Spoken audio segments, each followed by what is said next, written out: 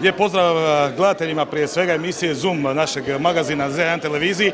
Za njih malo sporta. 187 utakmica. Puno je to vremena.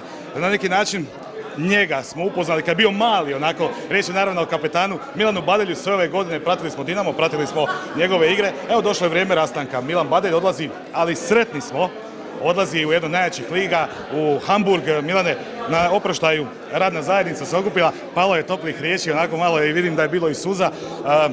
sretan si sigurno, u jednu ruku si sretan prije svega zbog svoje karijere, ovaj, a ekipa te podržala pa ti je lakše, ili tako?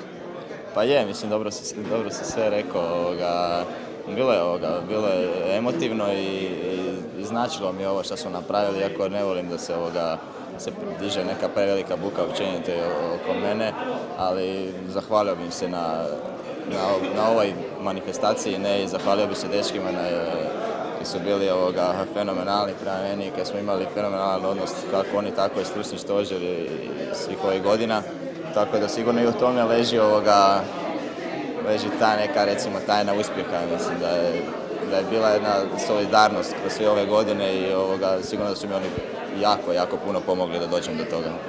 Malo je stvari u životu kad možemo komparirati, ali nekako e, prateći, radeći ovaj posao, rasli smo mi, a rasla si nekako i ti skupa s nama još od onih malih dana, lokomotive, pa ulazaka u Dinamo i tako dalje. Generalno, sigurno jedna prekrasna etapa u Dinamu. Ostavljaš dobar Dinamo. Možemo to Odličan, odličan. Atmosfera je, atmosfera je vrhunska. Dečki su ovoga, dečki rade fenomenalno, dečki su karakteri i, i ono što je najvažnije, dobri su igrači, ako su dobri igrači, jer bez kvalitete ipak teško je doći do uzbika, pa makar i bio taj pristani karakter i sve, ali kvaliteta je tu jako bitna.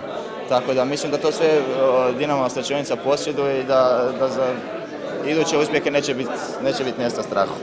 Naravno, ne možemo da ne pitamo, zadnja utakmica, ona službena bi trebala biti utorak protiv Maribora. Uh, dečki se žeste gore u, u, ovaj, u Mariboru, ali nekako, iako rezultat sugerira 2-1, malo je tijesno, ovo ono, hoće biti zeznuto. Pa... Iz iskustva, ako. Pa ne mogu reći da će biti zeznuto jer je to neozbiljno.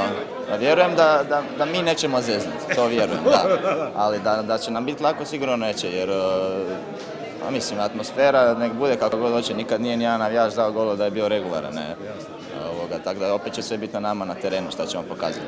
Vjerujem u ovo momčad i vjerujem i uspjeh i u Mariboru. Odlaziš, kao što smo rekli, u HSV, jedan veliki klub, jednu veliku priču. Odrašćeš još više. Kako ćeš onda biti jako ozbiljan kad se vratiš na grada? Sad si ozbiljan. Ne znam, možda poblesavim onda. Mada nisam i sad ne doživljavam sebe preozbiljno, ali ovoga, možda poblesavim. E, imaš nekakve konture u glavi, šta te očekuje gore? Pa nisam ni razmišljao previše o tome. Ona dva dana što sam proveo tamo na lječničkom i na potpisu, ta dva dana sam recimo ono živio to da sam tamo, ali ovo sve ostalo sam se ponašao i ko da ostajem tu i, i ko da ću biti i dalje igrač Dinama. Tako da, nije na neki način, nego će mi stvarno iskreno puno nedostajati sve ovo. Neki, pustit ćemo da tvojoj ekipi, hvala ti lijepa na lijepim trenucima u Dinamu. I na što, mi te čekamo, kad tad? Može, doći ću. Hvala ti Ništa,